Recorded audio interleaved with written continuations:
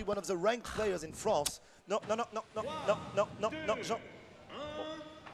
Here we are, here we are. Let's go. G-danzee against Griffith. Let's talk about it later on, but right now, right now, oh my god. So Lylat again, I'm not sure why Griffiths keeps going to Lylat with Fox in the first game. Like, he leaves it open. I think as it's far from being one of Fox's best matches, the best stages.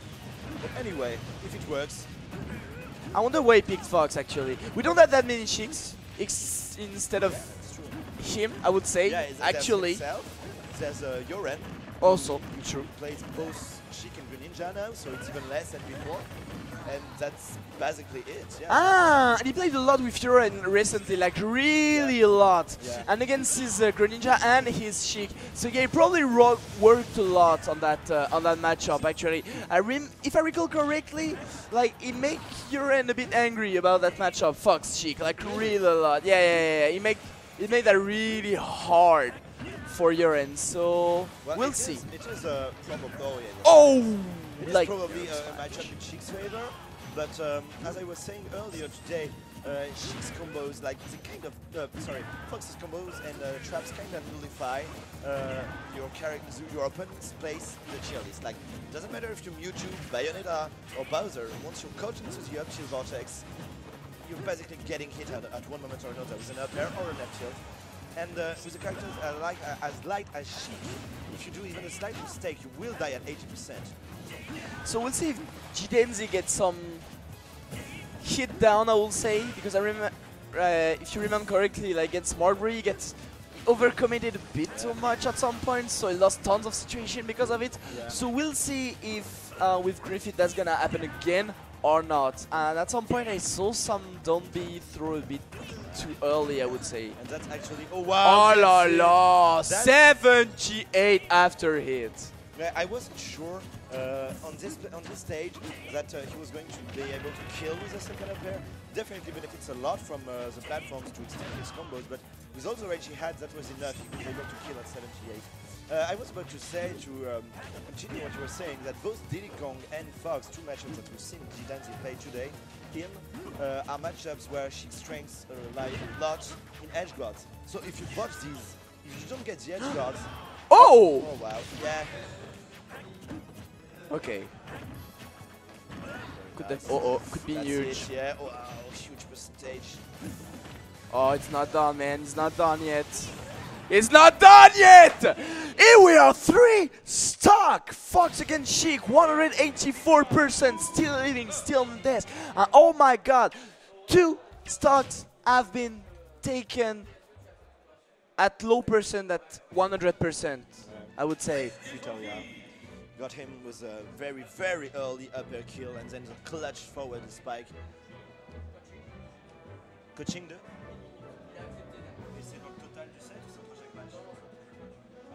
So we have a coaching rule here. Uh, it's actually rather. It's a one-minute coaching uh, rule in between each matches. So right now, uh, as Danny has accepted, he could have refused. Il aurait pu refuser. Okay, so the rule is if you don't have a coach yourself or are not willing to get coach, you can actually refuse your opponent from getting coach, which, like like this, in the middle of things, you tell me, I think it's rather fair and an interesting approach to coaching. It's not always allowed, but it's definitely uh, even between the players. If you accept it, well, here's what happens. You get one minute, we can get uh, advice from your teammates or your um, countrymate. And let's be honest, I am well happy. You can't say that. I'm so happy to see to see that happening here. I'm glad. I'm glad we got some coaching rules. I'm glad we allowed coaching. I feel like this is a really important part as a competitor, as a player, as a I don't know, man. You're facing an opponent. You can get some just a bit of time, just a, another look of the game to help you find a solution. I feel like this is really important, and those rules, those rules of our coaching are really important. And I feel like this is awesome. Civil War for that, you were the best, by the way. Just shout out for you guys. Your rules for the co- for coaching at Civil War, a blessing, a blessing. And okay, yeah, you you got you get coached. You get coached. Someone go and tell you how to beat me. Guess what? I'm picking Mega Man. Oh yeah! Oh yeah, with the color swap. I like you, Griffiths. Let's go. So this matchup is actually pretty darn terrible, especially on this match, because if the Sheik is being patient and willing to press the B button, well, Mega Man has to approach, and that's not really something he's really comfortable with. However, another thing that's interesting, yeah, I was about to say that this matchup, and it seems G-danzee is not aware of that. Uh, you have to be extremely precise with your spacing and auto cancel as Sheik, because even though she's such a good character, she's also one of the top characters that get footstool combos easily, the most easily by Mega very nice, so many percents on a fast follower like Sheik, and wow, drops shit just a bit too early. You can see Griffith is fiending for that uh, footstool uh. Yes. Oh yes, he's fishing it. Oh definitely, man. Yup, the good spacing from G-danzee won't allow him to get a footstool, obviously. That's funny the way he switches character. Just I don't know if it's that because of the stage, because of uh, of the coaching, or anything. Because he feel like I can do that with Mega Man, so I'll do it with Mega Man. I don't know. I think now that he has a full stock, uh, a one match lead, and it was a three stock, I think he's feeling a bit cocky. He just wants to try this matchup actually. Like, okay, let's see if I can do this cool combo I did a, a while back uh, and do another Twitter combo. On the international tournament right now. Wow, too bad, yeah, missing a bit of aerial mobility. No, does a third dodge into that, obviously. Goes for the forward dodge back here, but gets the sour spot on forward there, so no combo here. Bad, yeah. Ooh, looking for the up tilt. Every time you see Griffiths going for a spot dodge up close, you have to be very wary. With. He's more than willing to throw the up tilt. Very poor punish from G-danzee, sadly. Okay, going G for the edge guard, I agree. Oh. Okay. Oh, no bouncing fish. Alright, G-danzee coming into the lead. Yeah, Jinzin tried to read some tech shades, but oh no, come on.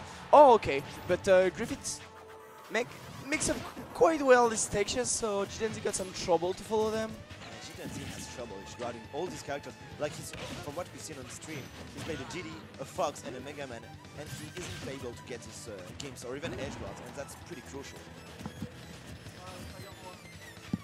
Okay. And so coming up, just to warn you. Beautiful on those lemon, the bouncing fish getting well above all of them, and boom, taking Yeah, the start. that's a problem this matchup. Like you can play the neutral game rather decently, so uh, Sheik isn't pressing the B button too much. But if you don't have room to move around, if you're stuck at the edge and you go for lemons, there's a good chance you will get uh, either nared or bouncing fish.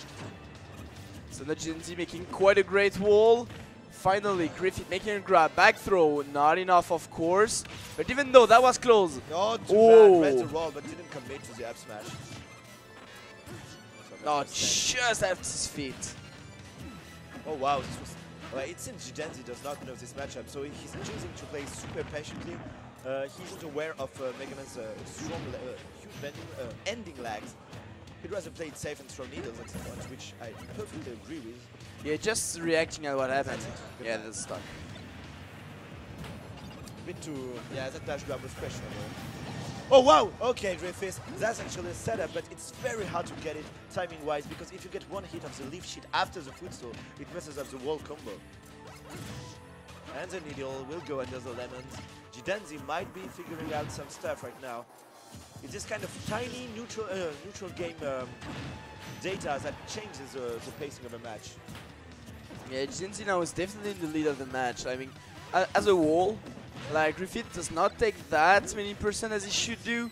He overcommits tons of time that uh, G-danzee make the make the punish, and because while G-danzee just take the lead out of the first stock, since then just never let it go, and it seems super hard for Griffith to take it back. Yeah.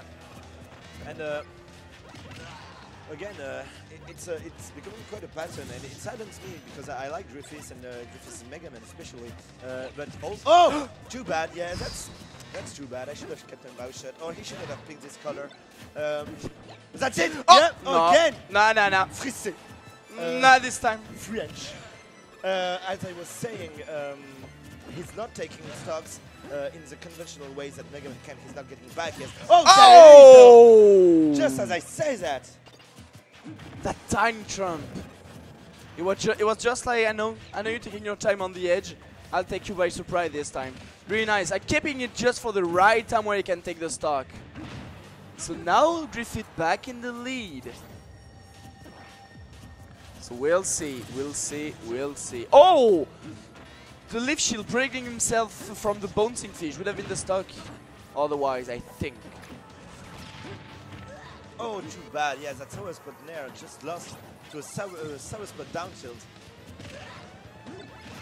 Oh, oh, whoa, he's looking for it. Griffiths He's going for these setups to get the footstool on it. You are frissé. He want that. He really want that. Yeah, and uh, obviously, Nice. to be honest, at this percentage, had he got the footstool, with one loop, he might have taken the whole game right now. Yeah, because of his rage. Yeah, absolutely. Yeah. And uh, would have killed at like 60%. We'll see if Griffith can pull one. Uh-oh. We'll see, we'll see. Yeah, no, it's got coming for G-danzee. Actually be his downfall in this situation. Okay, good pressure. Getting behind. Nice by Genzi catching that landing. He needs to keep, to keep on the edge, but he just, yeah, he's converting. He's not putting enough pressure on the opponent when he's on the edge. That might be it. Because G-danzee does not know the matchup all that well from what we've seen. If he tries to go for a trick, Missed it once again. The trade, needle on the metal blade. Okay, nice, Nice. with G-danzee. Very G-danzee still get the control right now. yeah, and he's putting a lot of pressure on Griffiths, and Griffiths is forced to go very high up. Okay. Buffer the roll this time isn't quite ready to lose his stock to a tramp. You want that too much. Be careful because Griffiths is looking for that edge shield. Kane. No double jump. Will catch? No. Then he should just stop right before the back air. Okay. Nice grab. G-danzee finding so many grabs on the shield of It is far from being safe actually because grab can be footstool. Oh, auto cancel the forward air, so no footstools for you. Yeah, not today. Safe. You could actually go for the timeout at this point. Oh, that's true! I didn't even realize Yeah, it's yeah, only yeah. one minute left. Oh wow, the read was there. Too bad he could have gone for the bouncing fish. This could be it. No. Yes. No. Mega Man's back air being the worst move in the game, unable to close it just yet. Oh my god, those needles now. No. Oh, super commit from G-danzee. Wow, he's making me so scared. He doesn't need to go for these at this point. I, I swear to you, man. so right didn't, away. didn't just, He didn't look at the clock. Yeah, yeah, yeah. didn't look at the clock. Like probably. Wow, so close from the back here. That's it. Oh wow, a bit too slow, and that's And it. that's it. G-danzee takes it. After getting three stocks at the previous game, the switch was maybe not the best idea Griffith could have done. Maybe not. Not at all. So. Nice. I think we might. I don't know. uh, we might- see maybe another minutes of coaching. Griffiths. Danny is like, oh come on. Okay, you can coach him if you want, maybe. Danny, Hey, Danny. tu veux coach? Danny doesn't want to be coached, but he's just tired and doesn't really want uh, to wait too much. I'm gonna.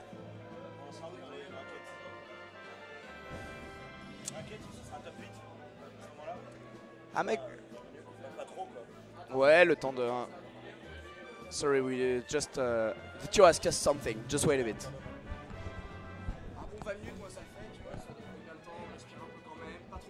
Si tu veux genre 10 minutes, 15 minutes de pause, c'est genre tu sors, tu prends 5 minutes de parler, t'as déjà perdu le tir de ta pause.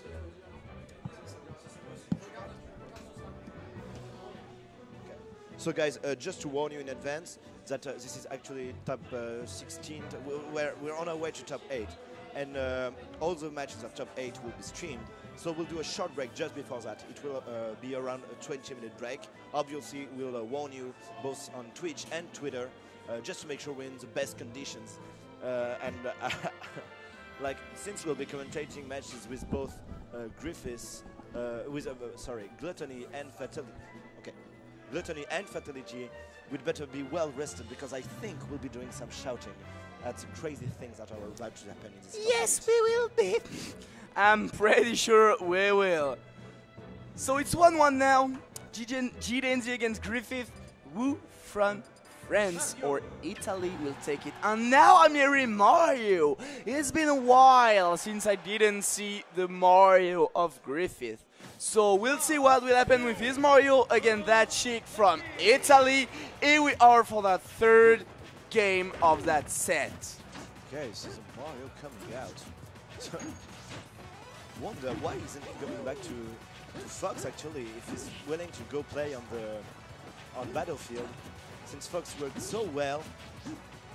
That's actually an, a really good question.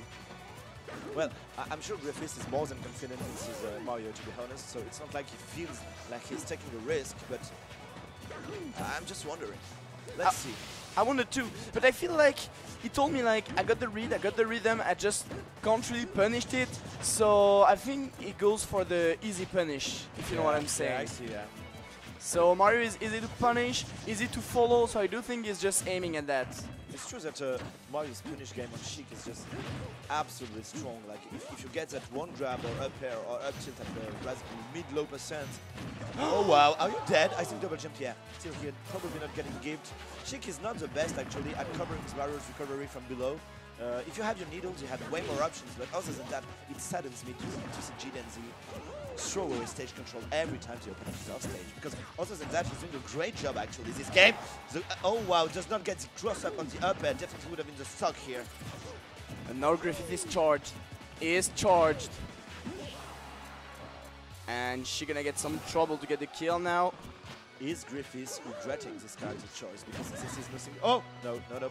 Very good for G-danzee. Uh oh. Oh my! That's why I told you he's charged, man! He's charged 150%! He is charged! And he does not care! Pretty scary situation. G-danzee, yeah, unable to edge guard. That's oh no! No! G-danzee is throwing it. Oh wow. He's looking at the sky. We can see him from across the room. But you know, in this situation, if you keep your cool, it's basically still your game. Problem is in specific in this specific matchup. Okay, good thing. I was about to say in this specific matchup, you leave Mario at high percent, uh, high rage, and you're at zero. You're getting comboed for easily 40 percent. Okay, Here it is. Terrible follow-up. Terrible follow-up again. but Oh. No worries, he gets it again. Oh wow! Tries to go for it. And as you away at the end by G-danzee, it could have been really huge. Ah, too bad. I feel like that SD just impacts a lot G-danzee. Yeah, and Griffith can really... He allows himself a tons of stuff that did not get through just on the previous stock right now. And that's too bad. Because after the suicide, uh, G-danzee still was able to, you know, take this stock right away without taking any percent. But it seems it has shook him enough. But right now he's got something going. Getting pressure. Double jump is gone. Got that wall of back air, just making that wall. No Nice. reverse up smash. That definitely would have hit and taken the stock.